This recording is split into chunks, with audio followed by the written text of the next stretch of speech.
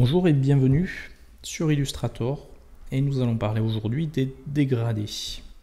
Jusqu'à présent, nous avons travaillé les primitives, donc rectangle, rectangle arrondi, ellipse, polygone, étoile, l'outil plume et euh, le Pathfinder qui permet donc de fusionner, de soustraire, euh, voire encore d'autres choses, euh, différentes formes. Alors, euh, on avait vu donc que concernant les formes créées, que ce soit la plume ou par le biais des primitives, ou la résultante de l'utilisation du Pathfinder, on avait donc la possibilité d'appliquer un remplissage de couleurs unies, ce qu'on appelle le fond dans Illustrator, et donc euh, également un contour de couleurs unies. Mais il faut savoir que vous pouvez aussi utiliser des dégradés de couleurs en lieu et place de ces couleurs unies. Alors comment ça marche? En prenant cette forme. Si je souhaite lui appliquer en fond un dégradé, la première étape consiste à cliquer ici sur le fond pour le mettre euh, au premier plan. Vous voyez que si je clique sur le contour, c'est le contour qu'on manipule. Là, je clique sur le fond. Deuxième étape, c'est lui appliquer un dégradé par défaut. Alors pour ça, vous avez en dessous ici des jeux de couleurs, des cases de couleurs. Vous avez des types de remplissage différents. Le premier, c'est le remplissage uni, couleur. Le dernier, ça signifie sans remplissage, ça retire la couleur de fond. Et l'intermédiaire, c'est le dégradé de couleur. Donc vous allez cliquer sur ce bouton. Et là, vous constatez que la couleur rouge est remplacée par un dégradé de couleur qui va par défaut du blanc vers le noir de manière linéaire. Et de la même manière, vous avez ici automatiquement, suite au remplissage dégradé, la palette dégradée qui s'affiche qui va nous permettre de euh, paramétrer euh, ce dégradé de couleur et notamment les étapes de couleur utilisées par le dégradé. Alors déjà première étape, le type, est-ce que c'est linéaire ou est-ce que c'est radial, c'est-à-dire circulaire? Bon, on va laisser du linéaire. Vous avez ensuite ici l'angle, c'est-à-dire l'orientation de votre dégradé. 0, moins 90, Hein, on part d'ici et on descend, moins 90. 180. Euh, Hop. Donc il est tourné dans l'autre sens. Bon, c'est l'orientation du dégradé. Chose qu'on pourra régler un petit peu plus tard par le biais de l'utilisation de l'outil dégradé qui est dans la boîte à outils, que pour le moment on ne manipule pas. Et ensuite, donc, vous avez ici les étapes de couleur de votre dégradé. Alors, Ici, vous avez l'étape de couleur blanche, celle qu'on trouve donc à gauche, et ici l'étape de couleur noire, celle qu'on trouve à droite. Et si vous voulez remplacer par exemple la couleur blanche par autre chose, vous avez juste à double-cliquer sur l'étape de couleur blanche et on vous propose ici de changer la couleur de cette étape. Et problématique, vous voyez qu'on ne vous propose ici que du niveau de gris. Or, moi, je veux de la couleur. Je suis même en mode CMJN, donc j'aimerais avoir des couleurs CMJN. Alors, pour faire ça, vous allez passer par la petite liste déroulante qui se trouve en haut à droite de cette euh, fenêtre. Et vous allez rebasculer sur le mode CMJN.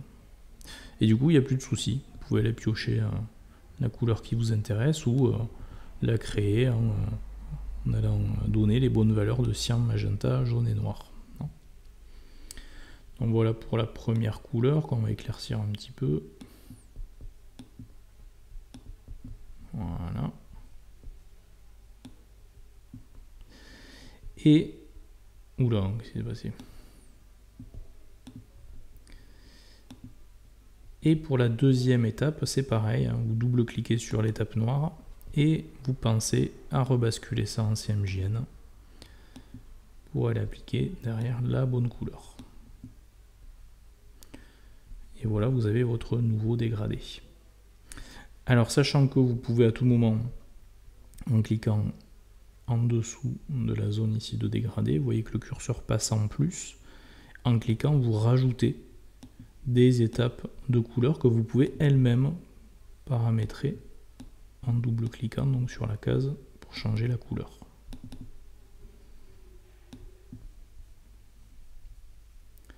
À préciser aussi, chaque étape on peut se voir appliquer une opacité spécifique. Alors par défaut, elles sont à 100%, mais si je veux que la couleur mauve soit 0%, donc transparente, je peux le faire.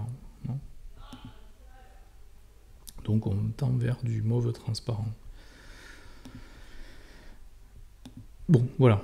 Vous pouvez rajouter des étapes de couleur. Et vous pouvez aussi les redispatcher. Vous voyez? Plus proche ou pas d'une étape que d'une autre. Juste en déplaçant les cases de couleur. C'est aussi la notion d'emplacement définie en pourcentage. Et si vous souhaitez retirer des étapes de couleur, ben, tout simplement, vous cliquez sur l'étape et vous cliquez sur la petite corbeille. Ou vous faites glisser l'étape de couleur vers le bas. Ça la retire. Donc ça c'est la première étape. Définir les jeux de couleurs. Euh, et ensuite vous pouvez prendre l'outil dégradé que vous avez dans la boîte à outils ici. Et à l'aide de votre souris, tracer le dégradé. Par exemple, je peux tracer le dégradé comme ça. Donc il prend cet angle-là d'orientation. Même dire, ben tiens, euh, le vert clair, il va démarrer ici, premier clic que vous maintenez, et le vert foncé, il va s'arrêter ici. Donc on aura un dégradé très prononcé, ou au contraire beaucoup plus étendu. Alors vous pouvez même directement à partir de là, vous voyez, double-cliquer sur l'étape de couleur la modifier. c'est vraiment une autre manière de faire. Et là aussi, double-clic et on modifie potentiellement la couleur. La seule chose que vous pouvez pas changer, c'est le type de dégradé, il reste linéaire. Donc il faut repasser obligatoirement par euh, ici l'onglet euh, dégradé de la palette dégradée pour passer en radial. Et après, là, à ce moment-là, vous pouvez redéfinir votre, votre dégradé radial euh, dans la forme. Et d'ailleurs, au niveau de l'outil dégradé, pour le dégradé radial, euh, vous avez ici le fait de pouvoir dire ben, c'est pas un cercle parfait, c'est une ellipse de dégradé. Et ici, c'est pour redimensionner l'étendue du dégradé. Voilà. Et donc, ce que vous pouvez faire en termes de remplissage, ben, figurez-vous que vous pouvez faire un petit peu, alors je dis un petit peu, la même chose pour le contour. C'est-à-dire qu'on pourrait mettre en avant le contour, lui appliquer ici en dessous dégradé, pour lequel on va pouvoir gérer donc les étapes de couleur.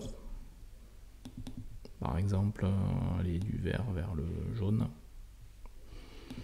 Alors pour un dégradé radial, ben, forcément on voit pas trop ce que ça donne puisque le, ça part du centre vers l'extérieur, donc on voit essentiellement la deuxième étape de couleur.